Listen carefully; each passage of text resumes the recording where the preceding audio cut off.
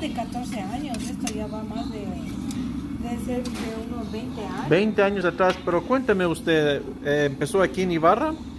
Sí, aquí en Ibarra empecé. ¿Hacer siempre, solo empanadas hacía o preparaba otras cosas? En humitas. Humitas. Mm. Ah, Eh, Cuando ellos- eran pequeños. ya. ¿Y a qué momento dijo usted voy a hacer empanadas? ¿Cómo le nació la, la idea?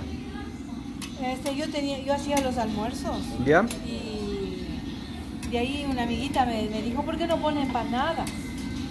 Y de ahí ella me, di- me dio la idea de poner las empanadas. ¿Ya? Y de ahí le hice las empanadas.